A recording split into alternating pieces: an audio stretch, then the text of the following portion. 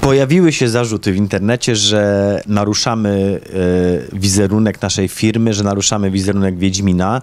E, ja mogę na to powiedzieć jedno, dajcie nam szansę. Pozwólcie, że zrobimy tę grę, zobaczcie, spróbujcie w nią zagrać i zobaczcie, czy, czy to jest prawda, to co myślicie. E, ja ze swojej strony wiem jedno, że w naszej firmie wszyscy e, bardzo, bardzo, bardzo długo myśleli nad tym projektem i to nie jest, y, to nie jest decyzja, która została podjęta miesiąc temu, pół roku temu.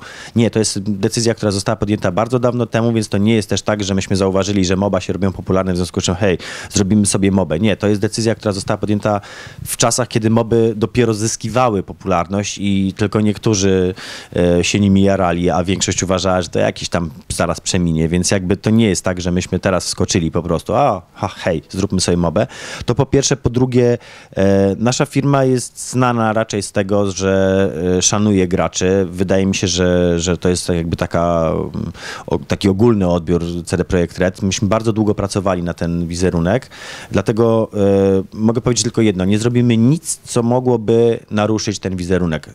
Nie wydaje mi się, żeby sam fakt wydania gry w jakimś gatunku i na jakąś platformę był równoznaczny z szarganiem wizerunku czy firmy, czy, czy, czy marki, tak? Marki Wiedźmin.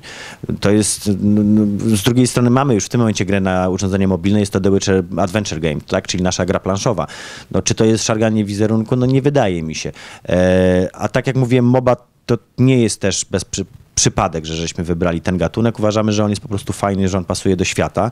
E, I tak jak powiedziałem, no, przekonacie się sami, kiedy, kiedy ta gra wyjdzie e, i będzie już do, do pobrania, e, że to nie jest nastawione na wyciąganie kasy z graczy. Nie, nie o to nam chodzi. My chcemy przede wszystkim zrobić fajną grę, która ludziom, którzy lubią Wiedźmina, a także tym, którzy nie znają Wiedźmina, da po prostu kupę zabawy.